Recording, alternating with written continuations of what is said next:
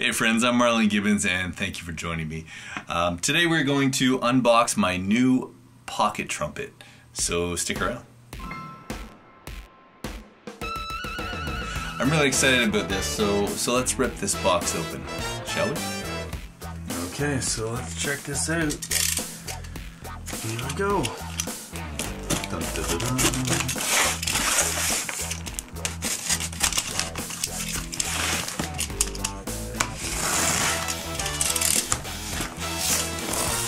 it's upside down. okay, so packed really nice.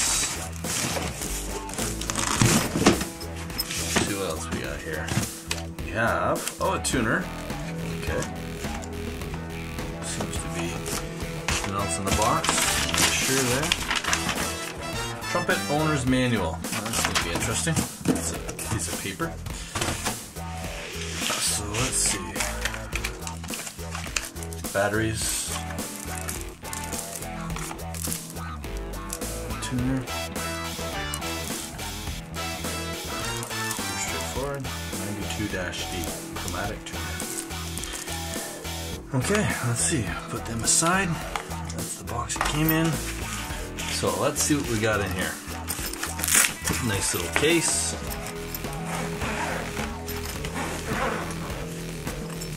Little pocket in the front. And that's kind of cool for have no idea what you put there. Something in there, but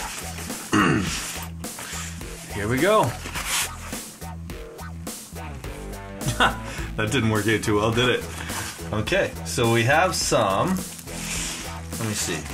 We have some cloths to clean it. That's important.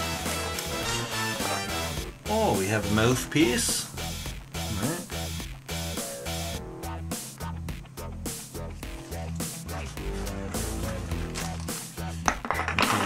Case that that mouthpiece goes in, we can get rid of the silica. There's a, as you can see, a little hole for it. And um, I presume valve oil. And, uh, and here's the thing. Here's the trumpet. Pull this guy out.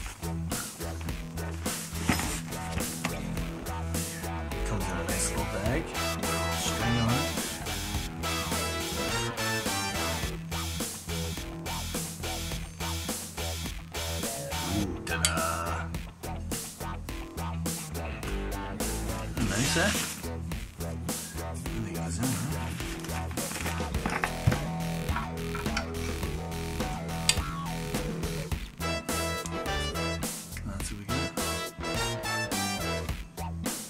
Two little valves down here, of course.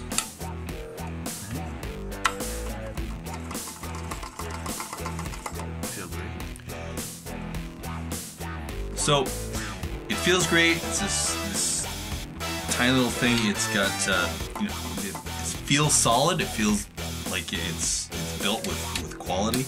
Um, got little spit valves down here. Uh, you can't really see them, but there you go. Um, you know the mouthpiece is. I'm sure it's entry level. You know this isn't isn't a you know a thousand dollar trumpet. Um, but it, you know, it feels good. It's got some weight to it. Um, I'm sure I'm gonna have some fun with um, fun with it in, in some of the compositions I write. But the reason I got it was um, it, it's always you know I have a lot of different samples I use different on different uh, different things, but it's always nice when you can add the real thing, of course, right? Um, and uh, you know I have, I have different horn um, horn libraries and uh, that's great when you're doing I don't know pop stuff or, or fanfare stuff or even uh, you know a few years back I did like a, a gypsy carnival eerie uh, library disc and, and did all kinds of you know weird things the violin and accordion and and uh, just kind of quirky stuff. And this would have been great for that. Um, but anyway yeah it's just nice when you can add it to to samples and stuff and, and just have the real thing. Um, I'm not going to be doing a trumpet featured trumpet anytime soon, but uh, but it feels great. Um, and you know we'll see uh, we'll see how it sounds when I record it. But for now, I, uh, I you know I'm really happy with the purchase. So it's uh, a Mendini, I think it's pronounced. Correct me if I'm wrong, uh, but Mendini pocket trumpet, and I got it on Amazon.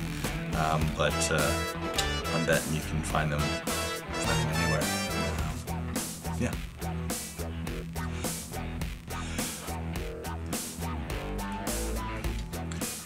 Yeah, no, I've never played trumpet in my life, uh, not even in high school. I have no clue how to play this thing.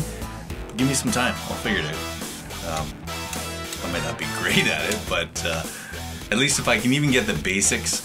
Um, but everything I said about it is, legit. Like I intend to use it in some of my compositions and uh, and uh, augment some of the samples with it, and just do some quirky stuff with it, and have some real fun. So thanks so much for joining me, guys. All the best. Cheers.